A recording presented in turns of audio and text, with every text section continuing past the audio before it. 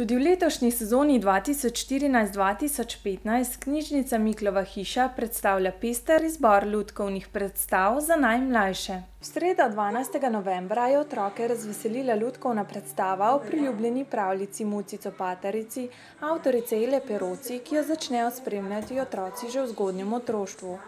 Zgodba je lansko leto praznovala šestdeset let, z njo pa so odrasle številne generacije otrok. Muca copatarica je pač slovenska klasika in to pravzaprav pravljica, s katero, bi rekla, večina otrok v Sloveniji vstopi v svet in literature in pa gledališča.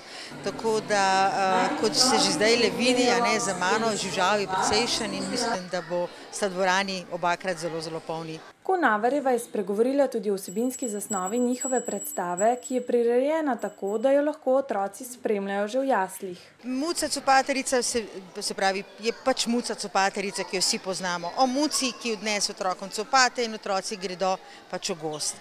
Zdaj, sama priredba je seveda malo posodobljena, ima še, gre za kombinacijo, se pravi,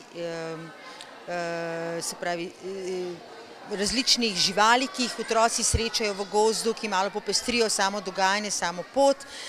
Potem je to kombinacija žive igre, lutk in pa pesmic oziroma glasbe v živo, kar je mogoče tudi posebnost te predstave, kajti otroci spoznavajo ne samo pravljico, ampak tudi celo paleto različnih glasbenih inštrumentov, ki nas malo tako popeljejo v te naše zgodnje otroštvo in pa tudi v, v etnomuzikologijo, se pravi zgodovino slovenske ljudske glasbe. Lutkovna predstava Muca copatarica velja za rdečo nit gledališča Frufru, igrajo jo že od leta devetnajststo šestindevetdeset, za njimi pa je blizu tisoč ponovitev.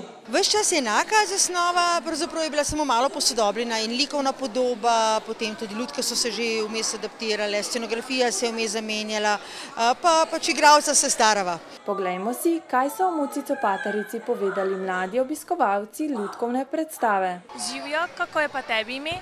Nejka. Nejka. Poznaš ti Muco copatarico? Ima copate. Kaj pa dela s copatki? Pospravlja. Pa ti, ali redno pospravljaš svoje copatke? Ja.